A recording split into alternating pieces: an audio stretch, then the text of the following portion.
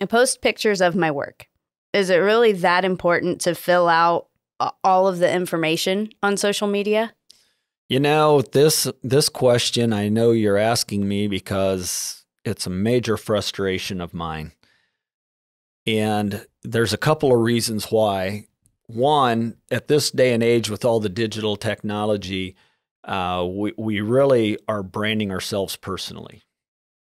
And it's it's just a gesture of maybe how we want to influence others. But I see business owners out there when we go to find them on social media, there is no no information there to possibly contact them.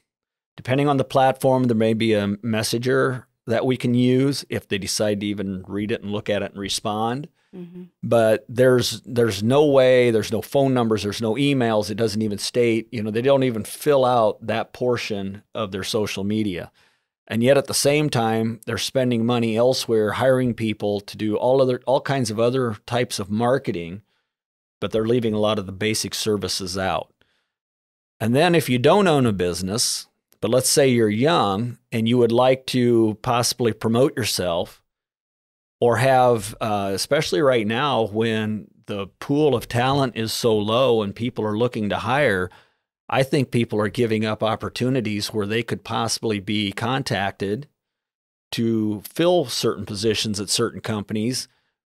But there again, they're not filling out their information. It shows that they're not very thorough. They don't maybe mm-hmm. take a lot of pride in how they present themselves. There's a dozen ways we can show parallels to how important that is. And maybe they're the type of person that doesn't want to be contacted and they only have it just to follow others and kind of see what's going on in the world. And if that's the case that's okay.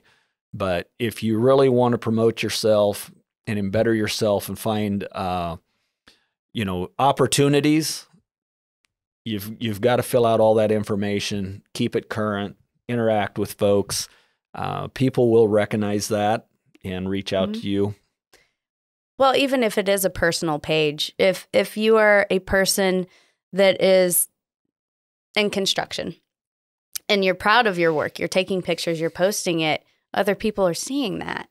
So, if you're proud of it, let us contact you. We're, we're a society of instant gratification. If we have to, you know, sit around, mess around with sending messenger messages back and forth, I mean, y- you lost a potential sale.